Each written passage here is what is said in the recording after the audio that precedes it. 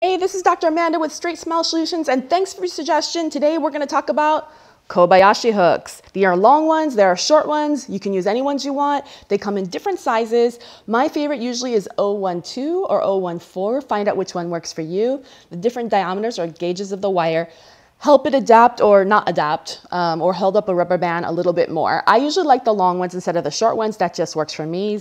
The short ones for me are tricky. Uh, because for me they tend to break brackets but you know everyone's different so i get a long one i go ahead and tie the patient in first i want to put it on once for the rubber band and i don't want to deal with it again so that's how i do it okay so everyone's tied in nicely this is a long one this is an O12 First thing I do is I go ahead and this is too long. If I try to put it on like this, it's gonna poke the patient's eye out, okay? So I'm gonna go ahead and trim it.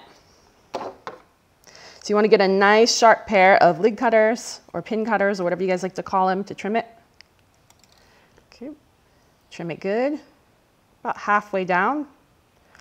Okay, this is, of course, I said get a nice sharp one. This is not a nice sharp one. but in any case, then what I do is I curve it. That's just me, comfort curve, so I don't poke the patient's lip.